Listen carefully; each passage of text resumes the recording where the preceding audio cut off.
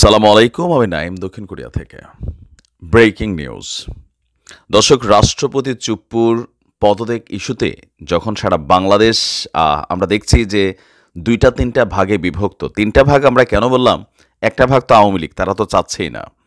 আরেকটা ভাগ হচ্ছে আপনার বৈষম্য বিরোধী ছাত্র আন্দোলনের যারা সমন্বয়ক আছেন, পাশাপাশি যতগুলা রাজনৈতিক দল আছে, এর মাঝখানে দুই একটা রাজনৈতিক দল ছাড়া, প্রধান বিএনপি ছাড়া জাতীয় পার্টি ছাড়া, আর বাকি যারা আছে, সবাই কিন্তু একমত হয়েছে রাষ্ট্রপতির পদত্যাগ ইস্যুতে, যে না, রাষ্ট্রপতি চুপ্পুকে রাখা যাবে না।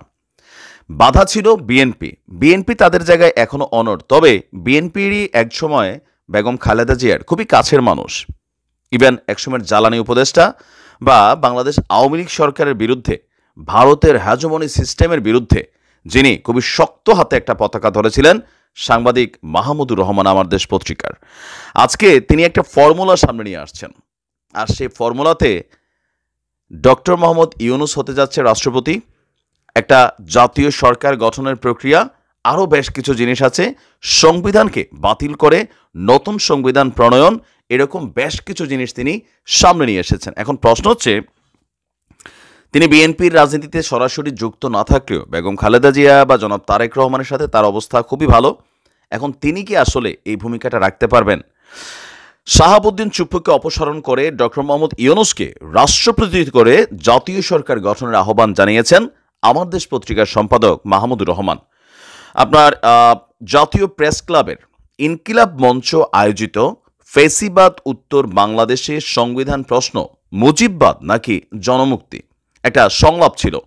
সেই সংলাপে মাহমুদুর রহমান বলছেন, রাষ্ট্রপতিকে অপসারণের বিষয়ে রাজনৈতিক দলগুলোকে প্রস্তাব দিন, যেটা অলরেডি দেয়া দেওয়া হয়েছে।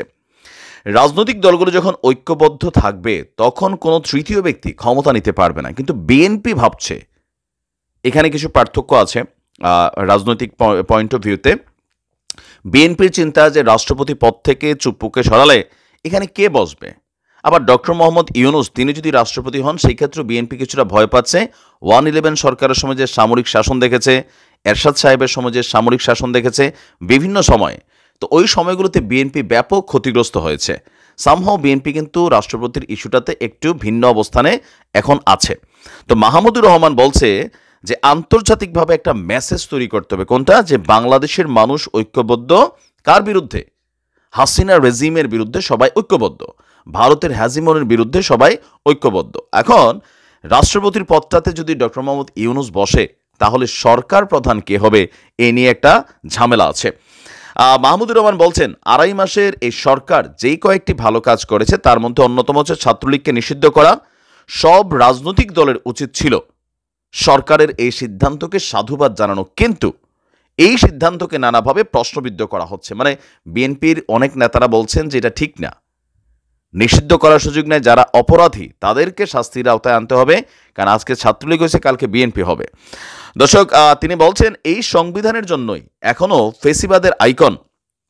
আপনার শেখ মুজিবের অনেক ছবি বিভিন্ন অফিসে শোভা পাচ্ছে। সুপ্রিম কোর্ট থেকে সব বিচারপতিকেও সরানো আপনার সুযোগ হয়নি। তো এখানে আরও বিভিন্ন মানুষ যারা আছেন, তারা বক্তব্য দিয়েছেন।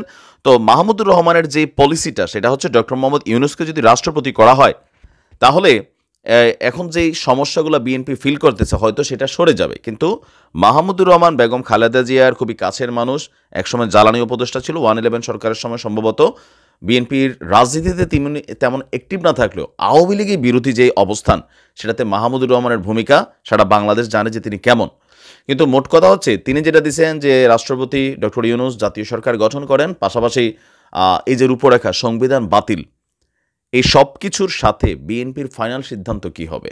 অথবা ডক্টর মোহাম্মদ ইউনুস, তিনি কি তার পদ থেকে সরে গিয়ে তিনি রাষ্ট্রপতি পদে বসার সুযোগ আছে বা তিনি বসতে চাইবেন? অথবা একই সাথে রাষ্ট্রপতি ইস্যুতে তিনি নিজেকে রাষ্ট্রপতি হিসাবে ধরেন, চেয়ারে বসলে এই যে অন্তর্বর্তী সরকারের প্রধান, এইটারে আসলে কোন সিস্টেমে করা হবে? সম্ভবত এগুলো নিয়ে আলোচনার বিষয় আছে। এখন মানে কি যে আসলে ঘটবে? বিএনপির অবস্থানটা এই মুহূর্তে অন্তর্বর্তী সরকারের জন্য অনেকটা ক্রিটিক্যাল ইস্যু হয়ে দাঁড়াচ্ছে।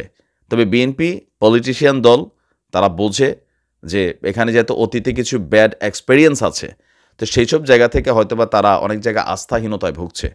এখন দেখা যাক মাহমুদুর রহমান সাহেব তিনি কি বিএনপিকে ম্যানেজ করতে পারেন? যদি পারেন, তাহলে কিন্তু এরকম কিছুই ঘটবে। এটা হান্ড্রেড পার্সেন্ট রাষ্ট্রপতি পদে ডক্টর মোহাম্মদ ইউনিসে হবে, এটাই বাস্তবতা। দেখা যাক কি হয়। ভালো থাকুন।